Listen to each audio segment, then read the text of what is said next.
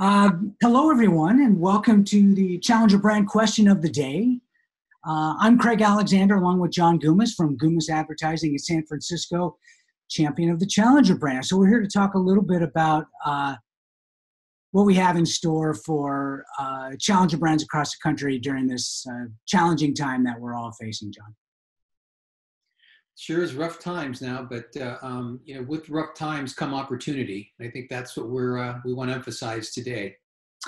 Today's question uh, leads us nicely into the discussion uh, about opportunity, uh, and it's a real timely one. Um, well, let's see if we can advance the slide. There we go.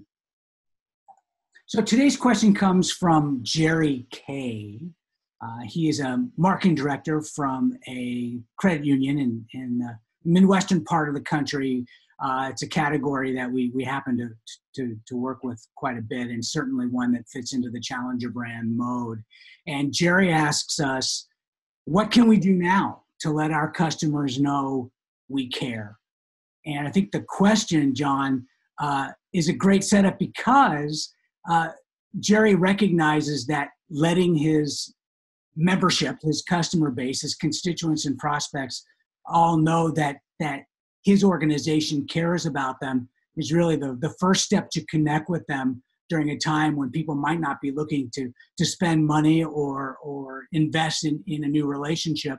Um, allowing your customers to know you care is a good first step in, in dealing with what we're going through today.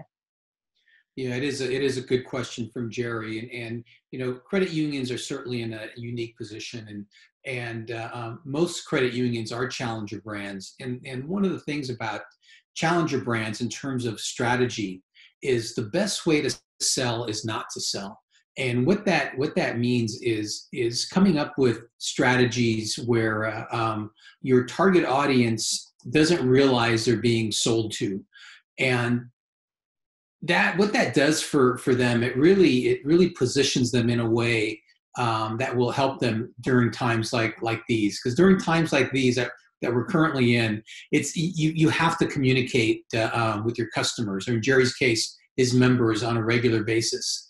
Uh, so he needs to stay in front of them as often as he can. He needs to they need to show their members how smart they are. They need to show their members how much they care about their financial situation and financial uh, predicaments in the current uh, um, uh, um, timeline.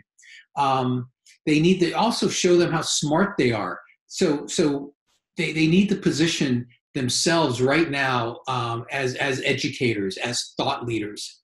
So what, what uh, um, Jerry should, should consider is the harder they try to sell products and service services now is when they start to lose that credibility as an expert.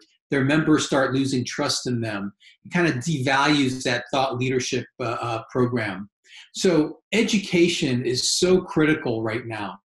So with that in mind, what we're seeing in the market currently is is customers or members, especially of credit unions, they have time on their hands. So they're researching, they're looking for things, they're looking at ways of, of uh, enhancing their, their uh, financial smarts, if you will. So, so Jerry, you know, consider staying in front of your members and show them that you care.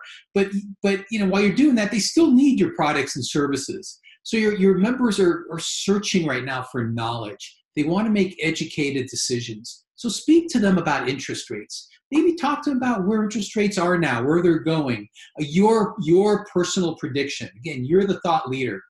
Um, you know what's happening with mortgages and mortgage refis right now. Is this a good time to refi? A bad time to refi? You know they they need to hear you hear, hear you know hear that from you. You know what's happening with car loans. Uh, good time, bad time to buy a car they will read the content that's educational and it has to have value to them. So by by doing this, you certainly position yourself as a thought leader, and a thought leader is someone they can trust. So when they are ready to buy that next car, they are ready to refi, they are ready to buy a house, or they are ready to uh, change institutions, they'll think of you because you are the uh, um, thought leader. And one last thing is when you do communicate, make sure you you ask them for some sort of engagement. You want them to respond. You want them to reach out to you, ask questions and follow up. So, uh, um, Craig, that's that's the advice I'd, I'd give Jerry um, moving forward. Uh, perfect, and it's a it's a great setup, really, to to the second point that we wanted to bring up. Uh, uh, re- remembering that we're we're not looking to to sell during these times, we are looking to educate, inform, and inspire. And one great way uh, to inspire is to really champion your industry and recognize the heroes in your business. And really, every category of business has heroes going on. Look look at the folks in in Jerry's credit unions and their branches who are going to work every day, working at the branches, working with their members face to face. I'm sure protected as best as possible. Um, those folks need to, to, to be recognized and celebrated and honored and use your, your, your marketing time to let the industry know that you support what they're doing and calling them out in your social media posts, uh, using photography. So you've got great images of, of your team uh, working through the challenging times. Uh, it, it, really does uh, say quite a bit about your organization, and in Jerry's case, says quite a bit about his particular financial institution uh, that they recognize not just those working for, for his credit union, but for really everybody in the financial services segment, all banks and credit unions, really these essential services where uh, the general public is, is spending time on a daily basis. We need to, to let the world know that we're really glad that you're out there doing that for us uh, and, and, and, celebrating individuals. Uh, John, talk a little bit about philanthropy because I know that's such an important thing in, in under normal circumstances, but during these days, how is, is uh, philanthropy marketing a way to stay in front of our, our, our, our customers? Craig. And, and, and, you know, we're certainly um, experiencing some uh, unprecedented times right now. Um, you know, in Jerry's case, I'm sure many of your members may have lost their jobs, um, or even worse, some of your members may have lost loved ones to COVID-19. So, so now, now is the time more than ever to show your community that that you care and one of the number one things that that uh, most consumers um, look for when they when they look to uh, um, uh, working with a financial institution or most businesses is you know what are you doing to support my com- my local community so now's the time to get out there. Now's the time to to support your local community in any way you can. Um, you know, get creative with that support. What does your community need? Um, are there charities that that your your membership or your customers uh, um, support most? Are there there charities that that that your organization support? Um, get out there. What do they need? What can you do? How can you show uh, um, your your your that you care um, by supporting these these institutions, these charities, and and and your members, your your your local community will certainly take notice or if you wanted to get creative, you know, we, we did something recently where with a um, with a client where we had them ask uh, their membership uh, what would they like to do? What, what, how would they like to see um, this this credit union that we were working with support the local community? And what they got back were some fantastic ideas. So it really it, it engaged the membership, and and it was almost a a, a joint effort where they went back out and and supported these organizations that their members really felt uh, um, uh, compelled um, to and were really near and dear. But at the end of the day, it, it, all comes back to staying in front of your, constitu- your constituency, your membership, and letting them know that you care, letting them know that you have a vested interest in your local community.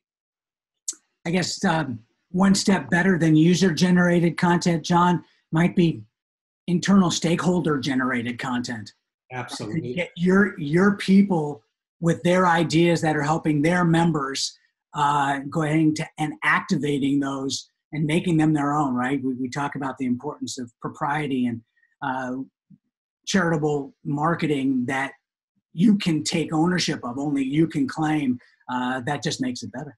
And craig we have example of example right of clients that have done that and have, have seen huge results um, by doing by doing that. Yeah.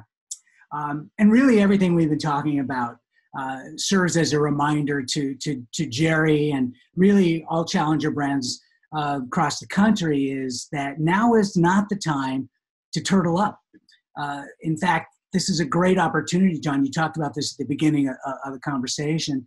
Uh, that the opportunity comes out of, of, some of these moments, and and really uh, stepping up uh, during these times uh, can really make a difference not only now but down the road when we start coming out of the challenging time that we're in now so staying in front of your customers today is an investment for tomorrow um, we saw some really interesting statistics we're seeing statistics every day we're getting information from resources all around the world talking about the, the impact of, of uh, COVID 19 uh, and how marketers are dealing with it. But one thing that we, we saw recently, I'm, I'm going to read you a couple of statistics that came to us from iHeartMedia, uh, who just did a, a recent survey and they told us some really interesting things. And one is regarding the staying in front of your customers and prospects, that only 15% of people surveyed said, 15% said they do not want to hear from brands during this, this time of uh, pandemic. Only 15%, 85% of the people are open to their brands talking to them during this time frame. Really surprising, right? Because we know everybody's hunkering down. They're home, they're listening to more media, they're spending more time. You're probably listening to us on some sort of uh, technology. We're spending more time on technology, getting more information. Um, now is the time to have those conversations. The other thing that that uh, the iHeartMedia um, survey that just came out said to us was that 43% of survey respondents said it's reassuring to hear from brands they know and trust while 40% want to hear what brands are doing in response to the pandemic. So we, we know quite a few people are interested in, in the specific uh, actions that their favorite brands are doing during this time, uh, specific to the, to the pandemic. But really, in general, uh, near, nearly half of, of the respondents are, are open to communication and certainly are all, all want to hear from brands right now. So uh, now is that, that time. John, anything to add on that? No, you're right, and it's it's hard. You know, I think for most organizations, it's it's hard, and and uh, um, you know, panic kind of sets in, or or uh, um, or you can easily uh, um, not understand the, the the current climate out there. So you know, if you just follow what we're talking about, educate, be out there, communicate as often as you can, be sensitive how you communicate, and yeah, you know, read the room. Exactly. Try not to sell. You know that you, you want to become a thought leader in your category and, and there's no better way to sell than to become a thought leader. And uh, um, especially in your case jerry when you're when you're dealing with a uh, um, you know financial um, uh, products and services. Great. Well that was a great question jerry k. Uh, we're uh, we're going to tackle another one soon. And so tune in uh, for future webinars from from Gumas, your, your, your friends here, the champions of the Challenger brand. Uh, as we tackle the Challenger brand question of the day, uh, we remind you uh, that uh, we do have a, um, a, free book available to all of our, our followers, uh, Marketing Smart, that uh, John wrote a few years ago as we, we look ahead to a new book coming out later this year. We want to remind everybody that we have a, a wonderful primer on Challenger brand marketing that's available. Just go to our website, gumas.com. Uh, and with that, we will say thank you and see you again on the next Challenge Brand question of the day. Thanks, Goodbye.